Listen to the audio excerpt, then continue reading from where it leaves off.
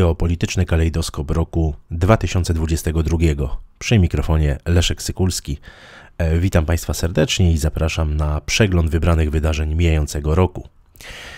1 stycznia weszła w życie umowa o wolnym handlu RECEP Regional Comprehensive Economic Partnership między Chińską Republiką Ludową, Japonią, Koreą Południową, Australią, Nową Zelandią, Indonezją, Tajlandią, Singapurem, Malezją, Filipinami, Wietnamem, Birmą, Kambodżą, Laosem i Brunei. Jest to największa na świecie umowa handlowa, jeśli chodzi o produkt krajowy brutto. Docelowo ma obejmować ponad 2 miliardy ludzi, czyli około 30% światowej populacji. Styczeń roku 2022 to także e, istotne masowe protesty, które objęły cały Kazachstan.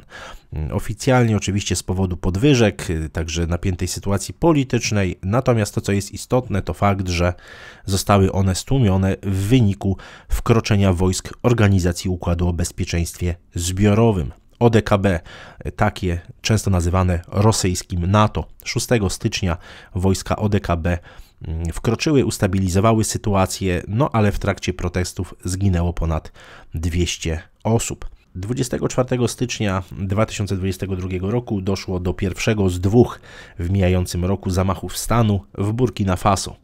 W tym afrykańskim państwie doszło do przejęcia władzy przez zbuntowaną armię, która usunęła z urzędu prezydenta, zawiesiła konstytucję, rozwiązała rząd, parlament, zamknęła granice. Luty mijającego roku rozpoczął się pod względem wydarzeń międzynarodowych od istotnego, takiego powiedzielibyśmy wizerunkowo istotnego wydarzenia dla Chińskiej Republiki Ludowej, jakim były zimowe Igrzyska Olimpijskie w Pekinie. Natomiast oczywiście luty roku 2022 e, w historii świata, w historii stosunków międzynarodowych przejdzie przede wszystkim mm, pod znakiem rozpoczęcia nowej rosyjskiej kampanii wojennej przeciwko Ukrainie. 24 lutego prezydent Rosji Władimir Putin wydał rozkaz przeprowadzenia tzw. Tak specjalnej operacji wojskowej w Donbasie, której celem miałaby być, cytuję, demilitaryzacja i denazyfikacja Ukrainy. Wydanie rozkazu przez prezydenta Rosji o rozpoczęciu nowej kampanii wojennej przeciwko Ukrainie zostało poprzedzone podpisaniem dekretu o uznaniu separatystycznych Donieckiej i Ługańskiej Republiki e, Ludowej, e, co miało miejsce 21 lutego. 24 lutego wraz z rozpoczęciem nowej kampanii wojennej rosyjskiej na Ukrainie prezydent Ukrainy Wołodymyr Załęski ogłosił e, stan wojenny i podpisał dekret o powszechnej e, mobilizacji. E, co istotne, cztery dni później prezydent Ukrainy podpisał wniosek o członkostwo Ukrainy w Unii Europejskiej. Luty 2022 roku to także istotne wydarzenie u naszego wschodniego sąsiada, konkretnie w Republice Białoruś. W dniach od 22 do 27 lutego odbyło się referendum konstytucyjne. Wzmocniło ono władzę prezydenta Aleksandra Łukaszenki. No i było tak naprawdę pewną kontynuacją tak zwanej reformy konstytucyjnej, która była już zapowiadana od wyborów prezydenckich w roku 2020. Marzec 2022 roku to nieudana próba zdobycia Kijowa przez Rosjan. Z kolei Rosjanom mm, udało się zdobyć Hersoń, a także największą elektrownię jądrową w Europie, czyli Zaporoże. Również w tym miesiącu weszły w życie sankcje wykluczające niektóre rosyjskie banki z systemu SWIFT. W ciągu zresztą kolejnych miesięcy sankcje Unii Europejskiej objęły m.in. rosyjskie i białoruskie sektory finansowy, energetyczny i e, obronny. Zamrożeniem aktywów i e, zakazem podróży zostało e, objętych wiele osób e, i wiele podmiotów e, gospodarczych. E, to także czas, to także czas migracji od początku rosyjskiej nowej inwazji na Ukrainę. W marcu 2022 roku opuściło Ukrainę ponad milion osób. W kolejnych miesiącach w całej Europie zarejestrowano około 8 milionów migrantów z Ukrainy. Warto także nadmienić, że około 8 milionów osób zostało przesiedlonych wewnątrz kraju.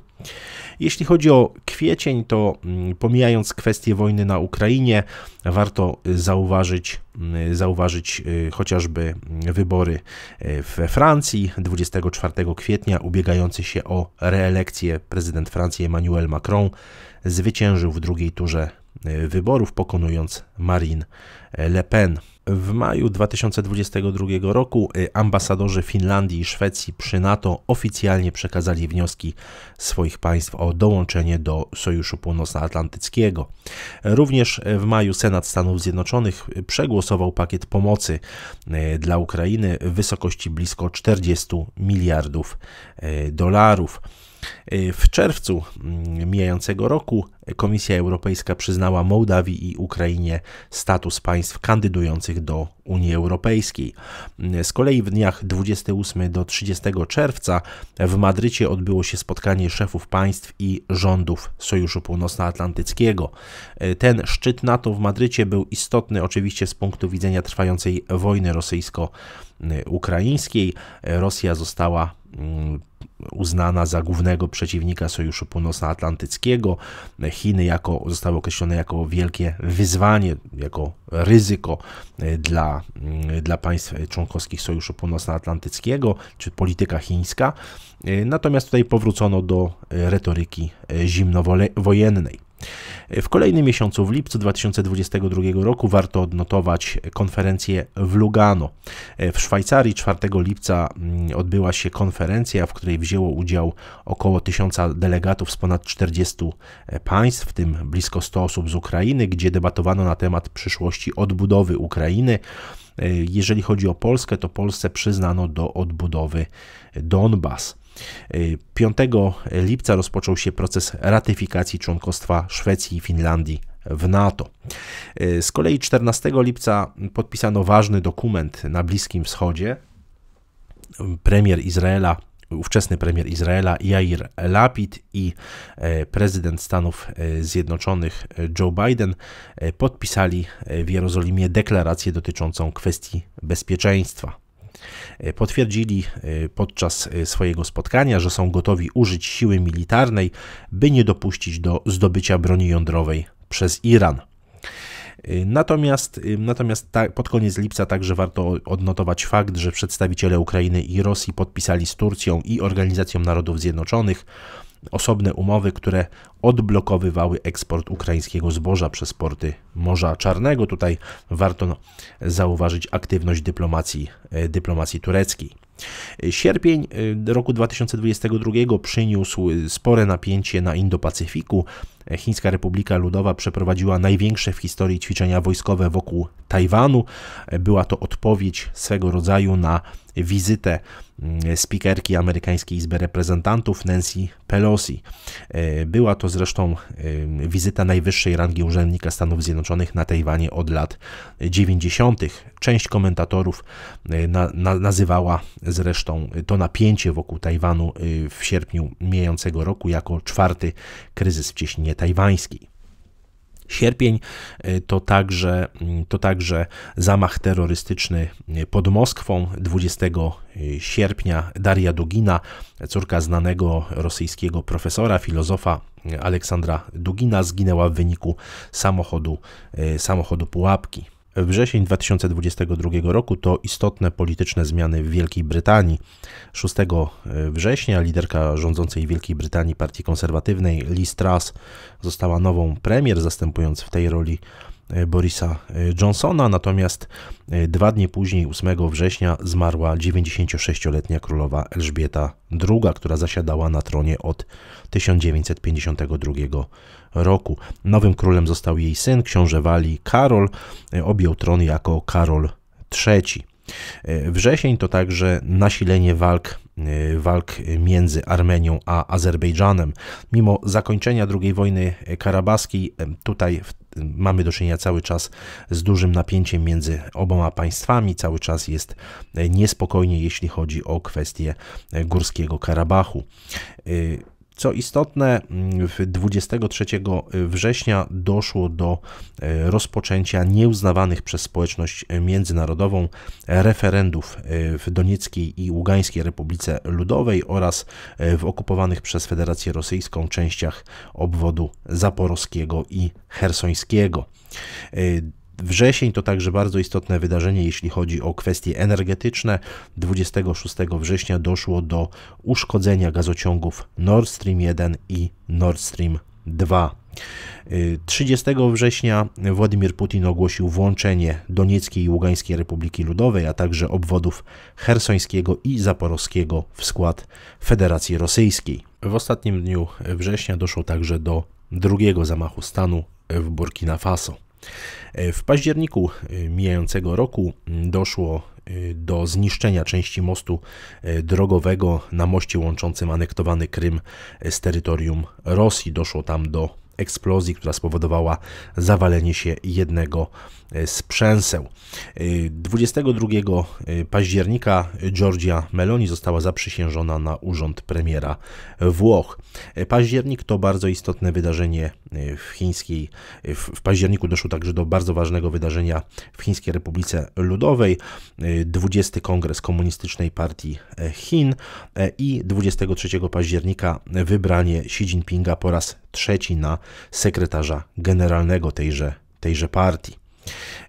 25 października, po tym jak 5 dni wcześniej Liz Truss złożyła rezygnację z funkcji premiera Wielkiej Brytanii, urząd objął y, Rishi Sunak. 30 października drugą turę wyborów prezydenckich w Brazylii wygrał Luiz Inácio Lula y, da Silva, pokonując y, dotychczasowego prezydenta Bolsonaro. W listopadzie według Organizacji Narodów Zjednoczonych liczba mieszkańców Ziemi przekroczyła 8 miliardów. 23 listopada Parlament Europejski przyjął rezolucję uznającą Rosję za państwo sponsorujące terroryzm. W grudniu, a właściwie już pod koniec grudnia 21, podczas pierwszej zagranicznej podróży od czasu rozpoczęcia nowej rosyjskiej inwazji na Ukrainę, prezydent tego państwa Wołodymyr Załęski spotkał się z prezydentem Stanów Zjednoczonych Joe Bidenem i wygłosił przemówienie przed połączonymi izbami kongresu. E, koniec roku to także istotne e, wydarzenie w Polsce, ale tutaj kwestiami polskimi zajmę się jeszcze osobno. Natomiast warto zauważyć, że 29 grudnia 2022 roku na stronach rządowych no, zostało ogłoszone stanowisko Rzeczypospolitej Polskiej dotyczące zastosowania prawa międzynarodowego w cyberprzestrzeni. Streszczając to stanowisko, trzeba podkreślić, że cyberatak odtąd może zostać zakwalifikowany jako napaść zbrojna na Rzeczpospolitą. I tutaj prawo do samoobrony ma być rozciągnięte także do cyberprzestrzeni. Przyglądając się bardziej tematycznie, nie tak chronologicznie jak do tej pory mm, wydarzeniom roku 2022, chciałbym zacząć od kwestii, od kwestii właśnie polskich. No, przede wszystkim warto zwrócić uwagę, że ten rok był burzliwy, jeśli chodzi o e, bezpieczeństwo nie tylko zewnętrzne, ale także e, wewnętrzne.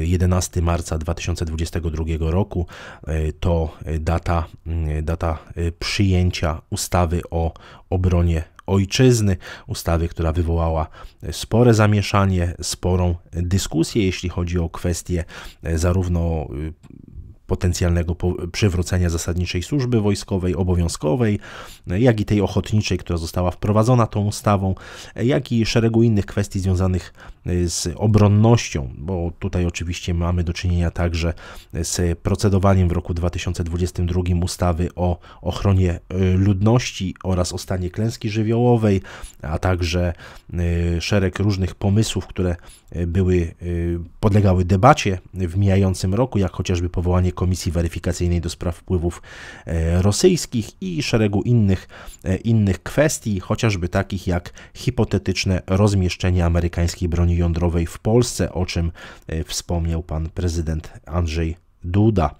Y, to także szereg y, wydarzeń y, takich mniej, można powiedzieć, rozpowszechnionych w mediach głównego nurtu, ale chociażby przedstawianych na przykład w telewizji Bielsat, jak chociażby rozpoczęcie szkolenia grup dywersyjnych złożonych z ochotników białoruskich To informacja z 5 października z portalu telewizji e, Bielsat. Zresztą także 2 listopada ukazał się reportaż e, na kanale na YouTubie tej, tej telewizji. No i oczywiście czwarty, między 4 a 7 listopada 2022 roku w Jabłonie pod Warszawą obradował także e, taki niby rząd na uchodźstwie złożony z rosyjskich politycznych outsiderów. No, tego typu działania były określane przez szereg publicystów i komentatorów jako nie niepotrzebnie y, podgrzewające napięcie, napięcie w regionie. Zresztą patrząc na chociażby początek roku, na wyciek danych z Wojska Polskiego, czy późniejsze, późniejszy telefon rosyjskich youtuberów do prezydenta Andrzeja Dudy. E, tutaj mm, szereg komentatorów podejmowało kwestię e, właśnie bezpieczeństwa wewnętrznego Rzeczypospolitej. W kontekście szeroko pojętego bezpieczeństwa narodowego szeroko komentowane były zakupy sprzętu wojskowego zarówno od Stanów Zjednoczonych, jak i od Korei e, Południowej. Mm, osobną sprawą są relacje polsko-ukraińskie. Tutaj obok ogromnej pomocy humanitarnej, która została przekazana mm, właśnie przez i władze, władze państwowe i przede wszystkim przez zwykłych, zwykłych ludzi. Szereg kontrowersji wywoływały dostawy sprzętu wojskowego do, na Ukrainę. Wiele państw mocno w Europie, w Unii Europejskiej oponowało przeciwko takim dostawom, czy też niechętnie podchodziło do takich, e, do takich dostaw. E, w Polsce e, szereg, szereg kontrowersji wywołały słowa Andrija Melnyka, już byłego ambasadora Ukrainy w Berlinie, który wybielał mm, Stepana Banderę, próbował wybielać także ludobójstwo między innymi na ludności polskiej dokonywane przez nacjonalistów ukraińskich w latach 40. No, pojawiło się szereg kontrowersji związanych z gloryfikacją ludobójców z ukraińskiej powstańczej armii, e, takich jak Roman Szuchewicz, między innymi kwestia pomnika e, w Tarnopolu. Mm, no i bardzo istotne, e, istotne wydarzenie z listopada, czyli atak rakietowy na terytorium Polski, na miejscowość Przewodów w, w powiecie chrubieszowskim, w województwie lubelskim. Media międzynarodowe, agencja Reutera, Associated Press, no, podały informację, że była to rakieta, e, rakieta ukraińska wystrzelona przez ukraińskie siły zbrojne.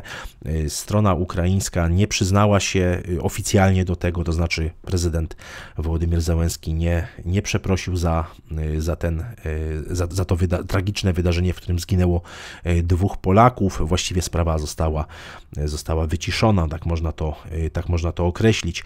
Sporo kontrowersji wywołała, wywołał projekt tak zwanej ustawy abolicyjnej, czyli zwolnienia z odpowiedzialności karnej wszystkich tych, którzy, wszystkich tych najemników, e, którzy bez wymaganego zezwolenia Ministerstwa Obrony Narodowej, no, że tak powiem, zaciągnęli się do tak zwanego Legionu Międzynarodowego na Ukrainie. Mówimy tutaj o obywatelach, o obywatelach polskich. Osobna sprawa, osobne kontrowersje to wypowiedzi takich, takich doradców prezydenta Wołodymira Zełenskiego, jak Aleksiej Arestowicz, mówiący o tym, że rzekomo polscy politycy zgodzili się zapomnieć o ludobójstwie na Wołyniu, y, czy też decyzja Sądu Najwyższego Ukrainy o y, przyzwoleniu na stosowanie symboliki SS Galicjen y, w tym, w tym państwie. No, wiele kontrowersji wywoływała kwestia przekazania czy to MIGów 29, czy Patriotów na Ukrainę. Tu już nie będę w to jakoś głęboko, głęboko wnikał. I ostatnio ostatnim jednym z takich istotnych akordów e, tych relacji polsko-ukraińskich, e, trudnych relacji polsko-ukraińskich e, był wybuch, wystrzelenie granatnika pocisku z granatnika w komendzie głównej policji. Miał być to zgodnie z oświadczeniem Ministerstwa Spraw Wewnętrznych i Administracji prezent, jaki komendant główny policji, inspektor generalny Jarosław Szymczyk otrzymał od e, służb e, ukraińskich. Ta sprawa wymaga oczywiście głębszego, głębszego wyjaśnienia. W roku 2022 pojawiła się koncepcja zawarcia kijowskiego traktatu bezpieczeństwa, który miałby nie tyle zastąpić e, jakąś propozycję członkostwa Ukrainy w, w NATO. Co dopełnić, to Polska została wymieniona jako jeden z, jedno z państw, które miałyby gwarantować właśnie takie, gwaran udzielać takich gwarancji bezpieczeństwa dla, dla Kijowa. To oczywiście tylko pewien projekt i, i pewna taka ogólna, ogólna myśl, ale warto ją odnotować, że to się pojawiło. Jeśli chodzi o kwestie Bliskiego Wschodu, to warto zauważyć zacieśnianie się relacji, relacji dyplomatycznych, gospodarczych i politycznych między Arabią Saudyjską a Chińską Republiką Ludową. Arabia Saudyjska już na początku 2022 roku wyraziła poparcie dla Pekinu, jeśli chodzi o kwestie Tajwanu, Hongkongu czy e, Ujgurów. E, warto zauważyć także, że Chiny bardzo aktywnie prowadzą swoją dyplomację udzieliły m.in. poparcia dla Argentyny e, w sprawie Malwinów, przez Brytyjczyków nazywanych Falklandami. Warto odnotować szczyt, pierwszy szczyt arabsko, e, arabsko-chiński e, w Riyadzie, o którym, któremu poświęciłem zresztą osobny odcinek podcastu. W kwietniu 2022 roku Chiny przedstawiły koncepcję globalnej inicjatywy bezpieczeństwa, nawiązując zresztą także do ruchu państw niezaangażowanych, do pewnych ogólnych takich, e, takich zasad mm, pokojowego współistnienia, jeśli chodzi o stosunki, e, o stosunki międzynarodowe i to niewątpliwie warto również e, podkreślić. Co do Bliskiego Wschodu, na pewno warto odnotować ćwiczenia pod kryptonimem Rydwany Ognia, ćwiczenia wojskowe, które były rozgrywane przez siły obronne Izraela w maju i czerwcu 2022 roku. To niewątpliwie wydarzenie bardzo bardzo istotne, to jedne z największych w historii Izraela e, ćwiczeń wojskowych, e, biorąc pod uwagę wypowiedzi polityków, przedstawicieli e, także wojskowych tego państwa, no, w kontekście Iranu na pewno warto, warto na to zwrócić, zwrócić uwagę. W roku 2022 w polskiej przestrzeni publicznej pojawił się, pojawiła się propozycja powołania Federacji Polsko-Ukraińskiej. No, bardzo mgliście tak naprawdę rysowana, ale przez przeciwników nazywana Ukropolem, mm, wywołująca bardzo wiele kontrowersji, przywołująca e, także e, na myśl e, różne problemy etniczne, polityczne, które istniały w II Rzeczypospolitej. Rok 2022 to narastające napięcie między Kosowem a Serbią.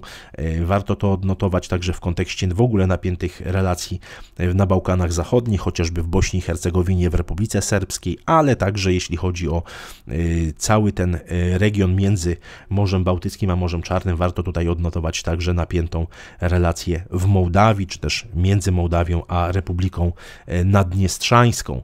E, rok 2022 niewątpliwie przejdzie do historii, tak jak powiedziałem już, pod znakiem nowej odsłony wojny rosyjsko-ukraińskiej. Wielu komentatorów zastanawiało się i zastanawia się nadal, nad, y, jak, nad kwestią zaszeregowania tego konfliktu, biorąc pod uwagę fakt, że Rosja y, bardzo późno ogłosiła częściową mobilizację y, i tak naprawdę, tak naprawdę rozpoczęła tę nową kampanię, kampanię roku 2022 stosunkowo niewielkimi siłami, biorąc pod uwagę możliwości samego państwa rosyjskiego, także bardzo późno decydując się na uderzenia rakietowe w obiekty infrastruktury krytycznej Ukrainy i y, aż właściwie do końca grudnia 2022 roku nie zdecydowała się Federacja Rosyjska na, na zniszczenie, przecięcie szlaków komunikacyjnych, szlaków, e, także obiektów e, logistycznych, które gwarantują Ukrainie pozyskiwanie sprzętu wojskowego, amunicji, oporządzenia ze strony, ze strony Zachodu. Wojna rosyjsko-ukraińska y, bywa nazywana y, przez niektórych komentatorów na świecie już teraz. Mianem proxy war, czyli wojny zastępczej między Federacją Rosyjską a Stanami Zjednoczonymi, czy też między Federacją Rosyjską a e, Sojuszem Północno Atlantyckim. Warto tutaj także zauważyć y, kwestię y, no, formowania wspólnego rosyjsko-białoruskiego zgrupowania wojskowego i zauważyć to, że Białoruś oprócz tego, że udostępniła terytorium e, dla sił zbrojnych Federacji Rosyjskiej, mm, bezpośrednio jak, do, jak dotąd, czyli do 31 grudnia 2022 roku, bezpośrednio nie zaangażowała się e, w te, w tej, w, w, jeśli chodzi o tę wojnę. Natomiast warto tutaj oczywiście także podkreślić skutki, skutki gospodarcze tej wojny, czy tej nowej odsłony roku 2022, skutki gospodarcze, finansowe, energetyczne, żywnościowe i migracyjne, z którymi mierzy się już dzisiaj szereg państw, szereg państw świata, nie tylko zresztą w Europie, bo kryzys żywnościowy zaczyna dotykać także państwa poza, pozaeuropejskie. O tym w mijającym roku mówił sporo Antonio Guterres, sekretarz generalny Organizacji Narodów Zjednoczonych. Dziękuję Państwu za uwagę i do usłyszenia w nowym 2023 roku.